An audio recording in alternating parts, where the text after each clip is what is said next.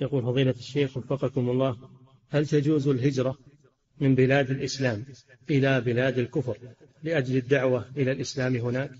هذه ما تسمى هجرة. هذه ما تسمى هجرة.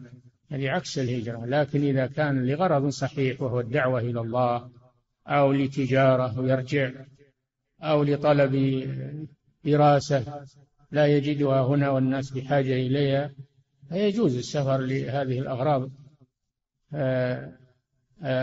لما فيها من المصلحة المحققة مع تمسكه بدينه وعدم إقامته إلا بقدر الحاجة فقط لا بأس بذلك. نعم.